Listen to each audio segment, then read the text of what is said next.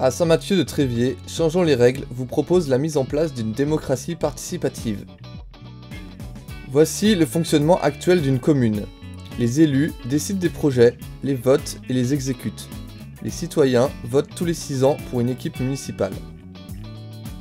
Plusieurs améliorations à ce système mettront le citoyen au cœur des décisions. Première action, codéfinir les projets par des commissions thématiques mixtes. C'est dans les commissions thématiques que se définissent les orientations politiques de la commune. C'est le cœur de la réflexion de la vie de la commune. Celui-ci doit impérativement être ouvert aux citoyens afin que les projets qui en naissent soient le reflet de nos aspirations communes. Deuxième action, classer les projets grâce à l'Assemblée citoyenne. L'Assemblée citoyenne est convoquée au moins une fois par an.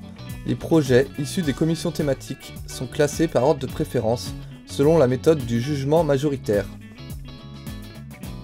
Troisième action, entérinement des projets par le conseil municipal. Le conseil municipal entérine les résultats issus de l'assemblée citoyenne. Le conseil municipal est public, les citoyens ont la parole lors du conseil. Quatrième action, co-réalisation des projets par les groupes d'action projet. La réalisation des projets retenus par l'assemblée et entérinés par le conseil municipal est effectuée par des groupes d'action projet. Les groupes d'action projet sont composés de citoyens d'élus référents et d'experts si nécessaire. Cinquième action, observation et contrôle. Le comité citoyen observe et contrôle le bon fonctionnement des outils de la démocratie participative. Ce comité est indépendant du conseil municipal et a un droit d'expression dans les différents médias de la commune.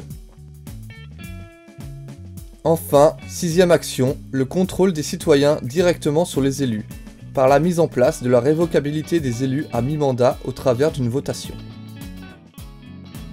Ces outils démocratiques sont la clé du changement écologique et social dont nous avons besoin.